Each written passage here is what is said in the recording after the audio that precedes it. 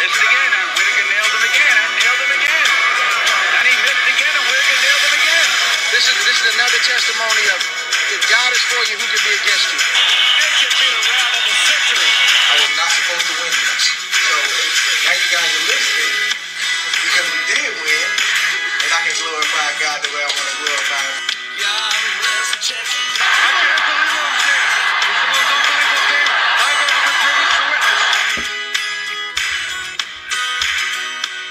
Welcome, welcome, welcome to another episode of uh, Quick Hits. Uh, we are back. We got a good show today. We're gonna get into Charlo Castano. Doesn't feel like there's this mega fight coming up. Um, just a couple of days, right? This huge unification fight, but there is. Um, we're just uh, about you know two days away from it.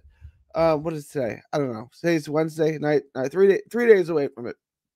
Uh, but before we get to that, please like, share, and subscribe. 3D Boxing, 3D Boxing Blog, and all forms of social media. Uh, Quick Hits comes at you every day, uh, 8 to 10 minutes keep you up to date on the latest, greatest boxing news and rumors. Please also subscribe to the other channel, Texas Boxing Scene on YouTube. All proceeds go to autism research and recovery, so it's near and dear to our heart. Please like, share, and subscribe to that channel. Uh, please, um, let's get into uh, today's show. Charlo Castano. Um, the first fight was really good. Um, I'm expecting the second fight to be even better, right? Like I, I felt the first fight was good. It was competitive. It was clean fight. Um, most people had it seven five. Castano six six isn't a draw. I, I think uh, six six a draw isn't a stretch. I mean, I, I think once you start getting more than six six, you know, you start scoring the fight in favor of Charlo. Um, I, I think there may be some issues with your scorecards, but it was a really, really good fight. Uh, clean, competitive fight. Charlo rallied late after giving away a lot of early rounds due to inactivity. Um, I, I think there's, you know, both guys fought well. I thought there were things that both guys could do better. I thought uh, Charlo obviously could have been more active. I think he could have let his hands go early. Now there's risk involved in that, right? Um, is he will he be willing to take that risk in the rematch? Uh, Castano um, didn't jab enough. You know, Castano usually jabs his way in and throws his power shots, his body shots off the jab. There was too much one shot. There was too much walking straight in, and there wasn't enough jabbing from Castano. That being said, he fought well, and I thought Castano fought well enough where he should have got the, a very close decision. Like I said, I had it seven five. Um, I'm seeing that that's the most common scorecard as long as as well as six six. Uh, but it was that kind of fight. I think both guys have a path to win, and I think both guys have power, and I think both guys don't want this to go back to the scorecards. I, I, think um, you, you're looking at Charlo, you know, he's got a very iffy decision. Uh, decision lost uh, to Tony Harrison. If a lot of people thought he won, most people thought he won. Although there are people out there who agree with the decision. I thought Harrison won. Certainly segment of people think that. I, I don't think that Charlo really trust going to the judges. I, I, think Charlo loves his power, maybe loves it too much, and um, he's gonna try late in the fight to get him out. I think that could backfire, right? I think Castano is the better infighter. I don't know that he's the one punch bigger hitter, which he may be. He might be. I, I'm not positive on that. Um, but he's better fighting on the inside. Charlo is very good.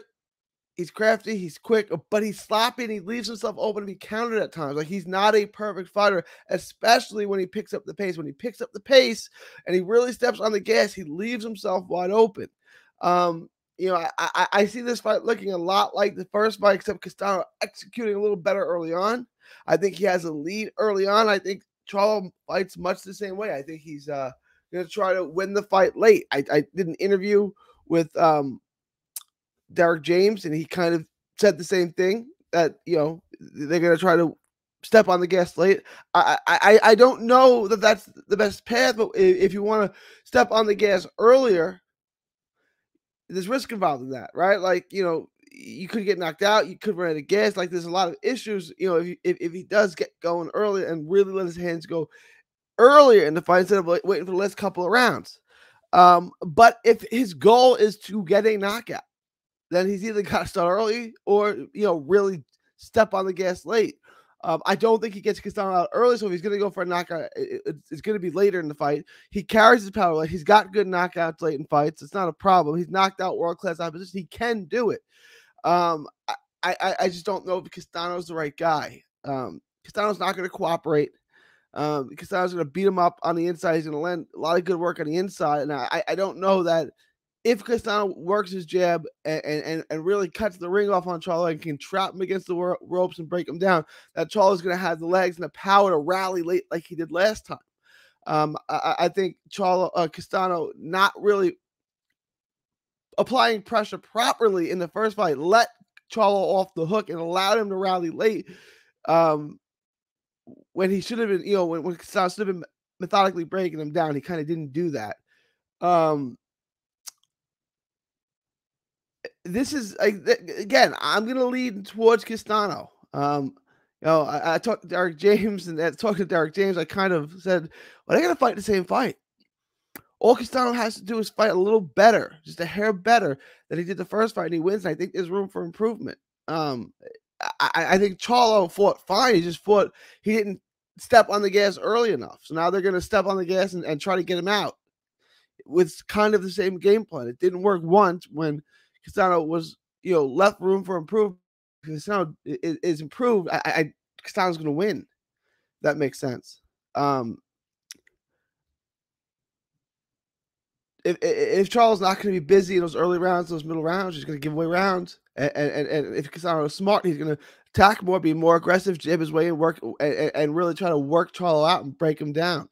Um, to me, I'm leaning towards Castano again. Uh, I'm going to say Castano wins the decision. I picked that last time. I, I thought Castano earned it, although I, I, don't think a draw was inappropriate by any means. Um, so I'm, I'm going to go with uh, Brian Castano again by unanimous decision, a close decision, but I think he gets it clearly this time in a really hard earned, hard fought fight. You know, what do these guys do after that? I, I think Jermell goes to 60, and I, I think Castano's got to say, Castano's not a big guy. You know, I, I, haven't been next to him, but you see him on TV. He doesn't look big. Um, I, I don't think he goes up any more than 54. I think this is where he's at, and I think he's not big for 54. Um, I, so I think he may stay here. He may try to get a, a, the winner of uh, Spence Crawford, or if that doesn't happen, just fight Crawford. Um, uh, so I, I, think there's plenty of fights from at 54. You know, they, they got a stable of guys. Jesus Ramos is guys right, ready for the picking. You know, right there for a world title. Um, you know, Sebastian Fundora, they have guys, they have fights for him, so he doesn't have to go anywhere. I, I think 54 is a good look for him. I think he stays there and, and tries to run the division for a while.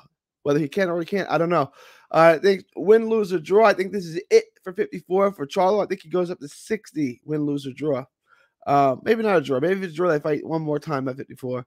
Um, but let me know what you guys think. Leave your thoughts, comments below. Let me know what you, you think of my prediction. Leave your prediction below. Charlo Castano, you are you feeling the hype? Like it's hard for me to believe. Like I'm not feeling the hype leading up to this fight. Like there's a major battle for undisputed in a couple of days. And I, I feel like, you know, where the hype at? Um, leave your comments below. It, it uh, Texas uh 3D Boxing, 3D Boxing Blog. Please follow us, like, share, and subscribe. All forms of social media. Quick hits comes at you every day, eight to ten minutes a day. Keep you up to date on the latest, greatest boxing news and rumors.